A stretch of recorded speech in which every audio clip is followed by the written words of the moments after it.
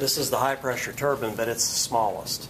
If uh, the way steam's created, we warm it up, warm water up to about uh, 1,005 degrees, and we pressurize it to 2,800 pounds per square inch. Then it goes into that steam turbine and it expands as it releases its energy.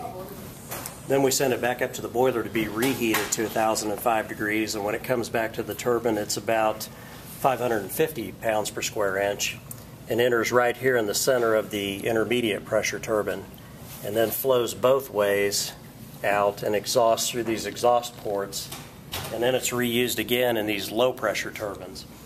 It enters these low pressure turbines at about 500 degrees Fahrenheit and about 150 pounds per square inch and then flows out and exhausts into this area, the condenser, um, which is below atmospheric pressure, and the steam's down to about 120 degrees by the time it gets here. So we've taken all of the energy out that we put in, and then we'll send that water back to the boiler to start the whole cycle over again.